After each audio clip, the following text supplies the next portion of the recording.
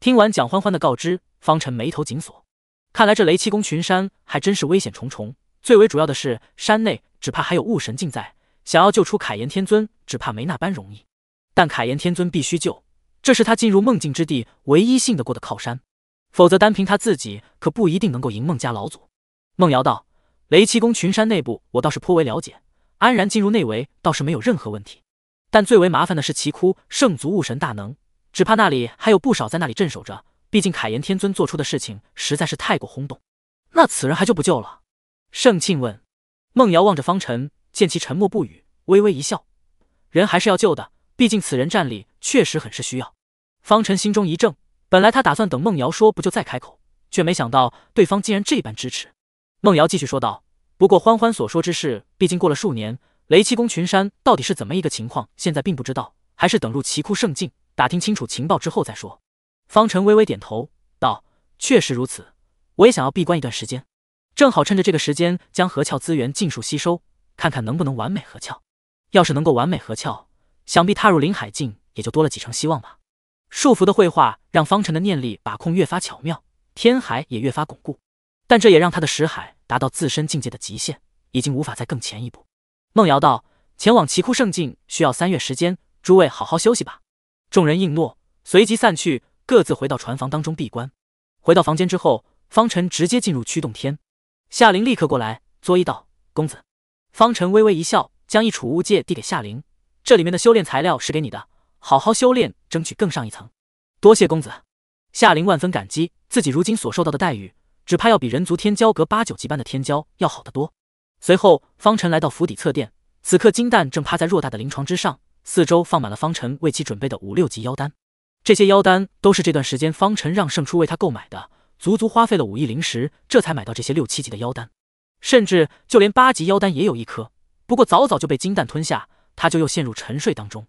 不过方辰和金蛋心灵相通，他能够感受到金蛋修为再度有所精进，或许很快就要突破到八级。别看金蛋一直在沉睡当中，但他的提升却不比方辰要慢，甚至隐隐有追上并赶超。雷七公群山，雷遁一道，或许对金蛋而言会有大机缘，也说不定。方辰心中暗道，随即也来到自己府邸，并将控天钟拿出来启动，将四周灵气聚集过来的同时，他也将此次所得的开窍资源尽数拿出来。灵丹二百一十三瓶，其中八阶丹药十瓶，千年灵药一千三百二十一株，万年灵药一百九十八株，十万年灵药三株。按理说，这般多的资源让我合一窍应该没有任何问题，就不知我最后两窍合并的胃口有多大了。他重重吐出一口浊气，开始漫长的闭关。而就在他闭关之时，方辰的事迹也传入人族阵营当中。什么？一处大殿当中，炎天王听完来人的禀告，哈哈大笑。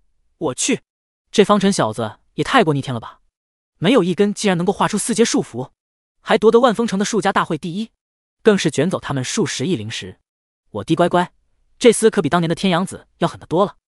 王三江啧啧称奇。确实呢，我人族已经很久没有天骄在鼎域做出如此惊天动地的事了。没办法。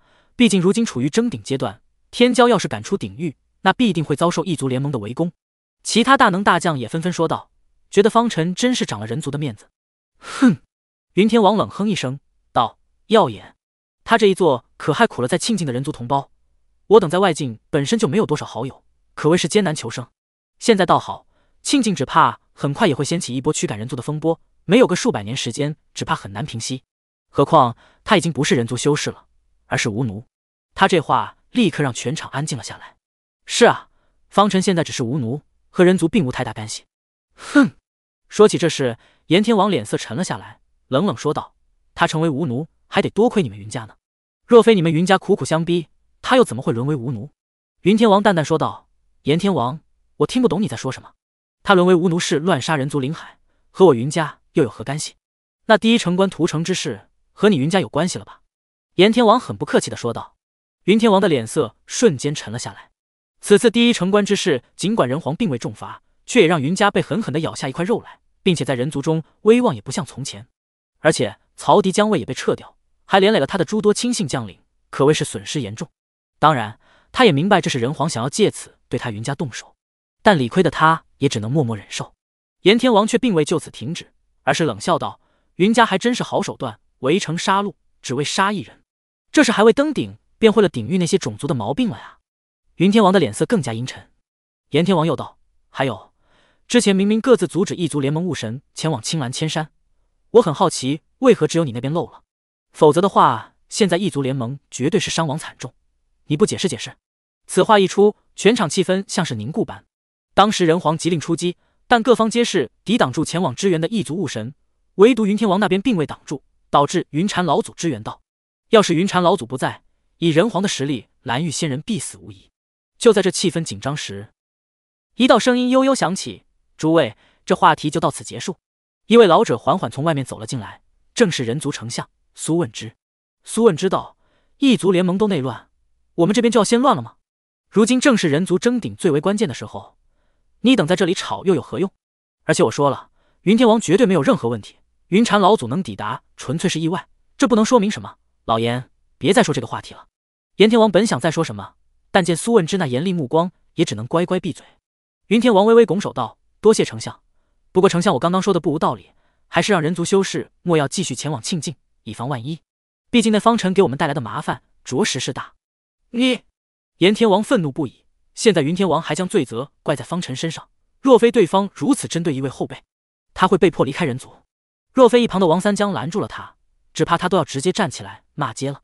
但云天王并未理会炎天王的愤怒，而是继续说道：“此人在人境时就能闹出一些事情来。”更是害得生灵涂炭。此刻他虽然已经是无奴，但依旧是人族出身。要是任由其在鼎玉胡闹，对于我人族简直就是耻辱。但最为主要的是力敌。众人皆是语塞。云天王针对得实属明确。看来第一城关之事后，他也不再如同以前藏着掖着，直接明面上针对方辰。若非碍于面子，只怕他都想要亲自追杀方辰。但就算如此，全场除了炎天王，依旧没有人敢得罪他。毕竟云天王可以说是天王当中最强大的几位之一。也就只有同样强大的炎天王敢和他叫板，就像现在，炎天王又忍不住了。姓云的，你们家的云都是屁吗？一出口就是屁话不断。住口！苏问之瞪了炎天王一眼，道：“炎天王，你是天王，注意言辞。难道天王就能胡编乱造不成？要是我们人族因为一个小辈而身败名裂，那我们还争什么顶？各回个家，各找个妈得了。我说的都是属实。如今庆晋人族的处境……”难道也是我瞎编乱造？云天王反问。炎天王自然知道方辰所作所为会给庆晋人族带来不少麻烦，但他并不在意，因为现在前往庆晋的有七成皆是打算放弃人族身份，投靠他族，死了便死了。当然，这话他不能说，因为影响极大。好了好了，你们的讨论到此为止。至于是否要对方辰动手，还是等人皇定夺吧。苏问之望向半躺在宝座之上的人皇，其他人也纷纷望去，面露恭敬，等待定夺。人皇双眼微微一眯，似乎对于刚刚的吵闹压根就不知道，但在他心中此刻却是感觉十分庆幸，还好将这厮给丢出人境，否则真的得闹翻天了。数十亿纳也就只有鼎域种族富有，换作是他的话，只怕要肉疼很长一段时间。这小子赚钱的能力可要比其他人皇殿那群废物强上许多。等此次商议结束之后，一定要写到圣旨，好好嘲讽他们。他心中暗道。见所有人望来，他这才收回思绪，缓缓睁开眼睛。了，他们刚刚的谈话，他自然是听得清清楚楚。于是道：“朕觉得云天王说的确实不错，方辰那小子实在是太能够惹事。”此话一出，不少人都是错愕不已。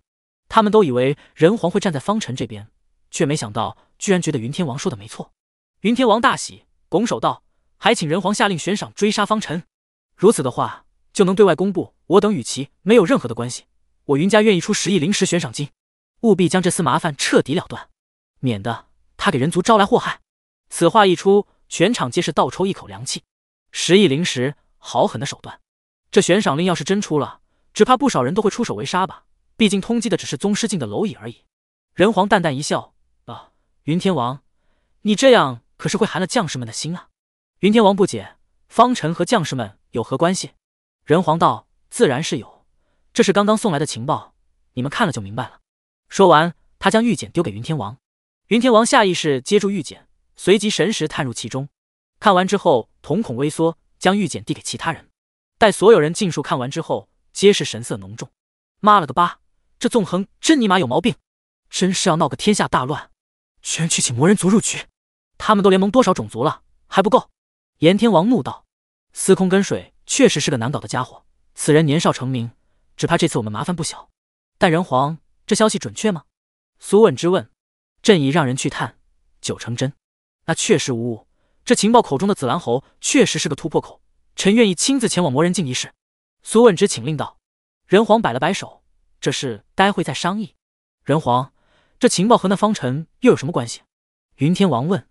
其他人也都好奇的望向人皇。人皇道：“自然有关，因为这消息就是方辰带来的。”此话一出，全场寂静。云天王反应过来，立刻反驳：“不可能！他为什么要将这般重要的情报告诉我们？明明人族已经抛弃了他。”炎天王冷哼一声道：“那是因为他明白自己身上流着的是人族血液，也希望人族争顶能够成功，不像某些人为了一些利益而残害人族天骄。据我所知，庆族万峰城主曾经许诺过他，只要他肯留下，那就给他庆人身份，但他却是拒绝了。他心怀大义，心怀天下。”这是你云天王永远都不会明白的道理。云天王嘴角一抽，青筋暴起。方辰这一情报让他多少有些无地自容，特别是加上他刚刚所说的那些要将他置于死地的话。这一刻，其他人望向他的目光也都带有几分异样。此事若是传出去，只怕云天王的威严将会受到极大影响。好了，人皇淡淡说道：“方辰之事，日后就不必再说。单单是这份情报，我等就该好好感谢他。”臣惭愧。苏问之唏嘘悔恨。当年臣不该掺和进去，让人族失去这般一位天骄。人皇摆手，过去的事情就没有必要再说。日后要是遇到他，那就将他召回人族。说到这，他长叹道：“但愿他愿意回来吧。”全场也是感慨不已，唯有云天王低着头，神色阴晴不定。同时，骤停，赵师麦和端木星半跪在主庭之上，黑长老依旧落座高位，对于赵师麦很是满意。不错，你任务完成的非常不错，按道理我该好好嘉奖于你。不过就在刚刚不久，又来任务，需要你们再去一趟。他道：“赵师麦道，长老请说。”赵师麦义不容辞。黑长老微微一笑，道：“需要你们去一处地方，那里即将有大战发生，雾神陨落。是哪里？奇窟圣族雷七宫群山。”